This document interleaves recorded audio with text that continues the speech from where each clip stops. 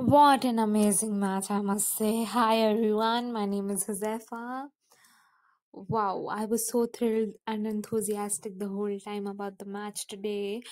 It just kept get my blood pressure kept getting up and high and down, high and down. Wow.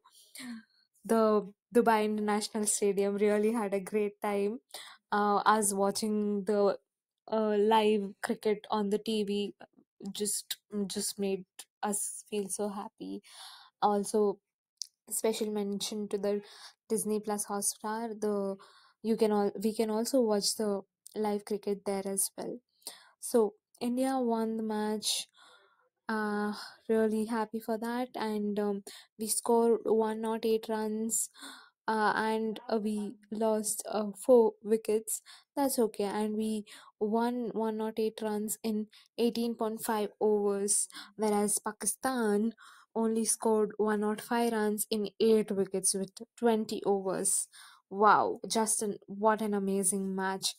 India won by 6 wickets and 7 there were still 7 balls left. A, a history is made, guys. Just a history is made. So, special mention to the player of the match, Arundhati Reddy, who secured 3 wickets just in 19 runs in 4 overs. That's all. And uh, Shaf Verma, who secured 32 runs in 35 balls. Harmanpreet Kaur, our very own captain, secured 29 runs in 24 balls. Jemimah Rodrigues secured 23 runs in 28 balls. Wow, amazing, amazing! You are you are our greatest of the greatest women. Um, also, uh, about the bowlers, uh, um, Shreyanka Patel secured two wickets in 12 runs in just four overs.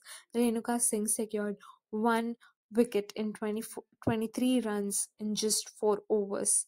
What a spectacular match, I must say. Uh, great, a great going, girls. I just want you all to win the uh, T20 Women's World Cup uh, for the, for the team India um, um, no matter whom you lose to, do not lose to Pakistan is what uh, uh, all of us really want, but even to the others team too. I want the cup in the hands of Indian women.